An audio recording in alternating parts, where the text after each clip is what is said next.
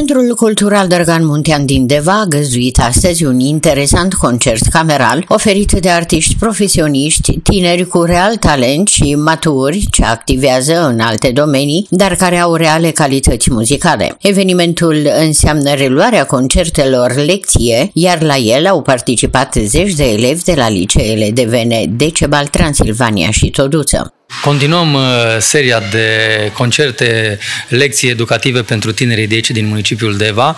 Uh, după concertul Graiu pe care uh, l-am oferit tinerilor din Deva în luna mai, iată că urmează un concert susținut de Orchestra Camerală Majoră din Timișoara și de Corul Baroului Avocaților din, din Timișoara.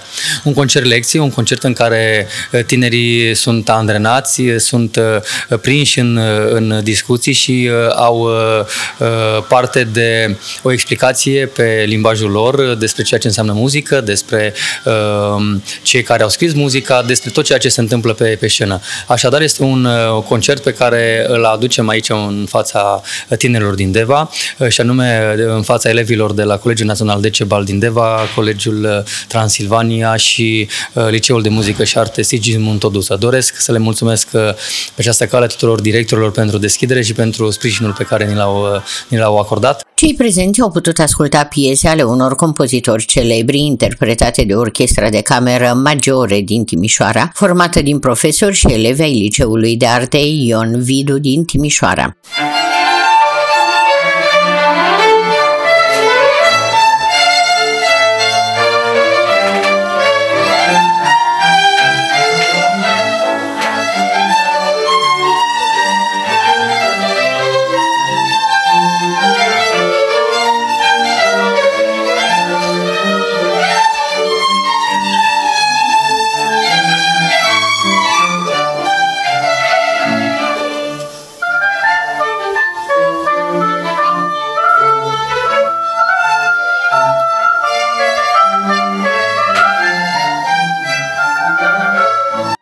Conceptul de concert-lecție încearcă nu doar atragerea elevilor către muzica clasică, ci și o posibilă selecție a tinerelor talente locale pentru continuarea studiilor de specialitate în Timișoara, iar Deva de-a lungul timpului a avut mai multe exemple pozitive în acest sens. Vrem să transmitem că prin acești copii tineri se pot realiza programe care sunt uh, destul de grele, dificile, și prin seriozitatea lor și colaborarea cu profesorii de la Liceul de Arte Ion Vidu din Timișoara se pot întâmpla lucruri minunate, bineînțeles.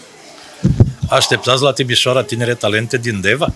De ce nu? Avem copii și profesori chiar din Deva care au realizat uh, foarte multe lucruri frumoase. De exemplu, este domnul Adrian Mardan, care este din Deva și este șeful de catedră de la acorzi grave, la Liceul de Muzică.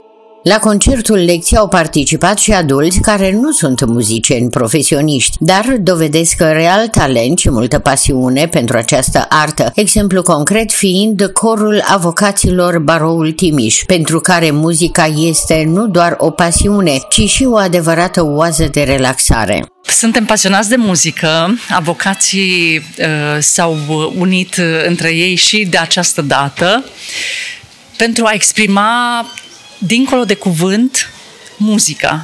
Sunt pasionați. Uh, a fost corul înființat în 2016 uh, și în fiecare an avem concert. La început uh, am început cu concert de colinde și de anul acesta am început să diversificăm și să cântăm și de Paști și concerte clasice și cum conceptul de concert lecție este ceva atipic, reprezentațiile muzicale nu au avut loc doar în sala mare de spectacole a Centrului Cultural Drăgan Muntean din Deva, ci și în alte spații ale instituției, prin aceasta transmițându-se mesajul că muzica clasică este binevenită oriunde. Oh.